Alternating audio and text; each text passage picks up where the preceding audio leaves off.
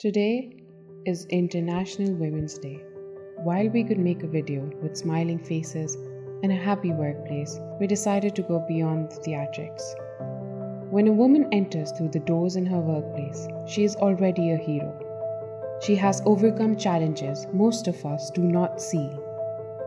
Less than 47% women in Pakistan get a basic education even a smaller percentage have access to safe employment opportunities.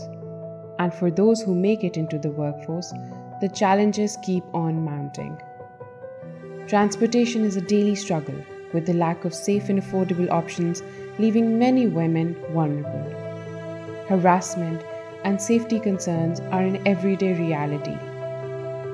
With a heartbreaking 93% acknowledging workplace harassment in 2021 alone.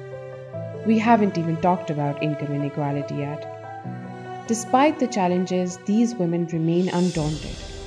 They are determined to break the glass ceiling in male dominated workplaces to make their voices heard and their contributions recognized. Every day, they are breaking stereotypes and pushing boundaries.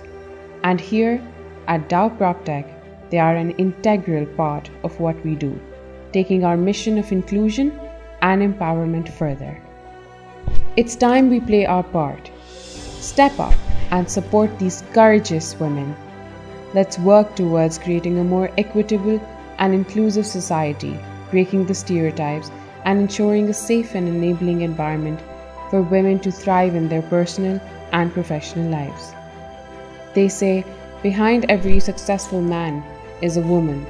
It's time to put the women forward. This International Women's Day let us recognize these heroes and stand with the courageous women of Pakistan. Let us pledge to do all we can to support them and to create a better future for everyone.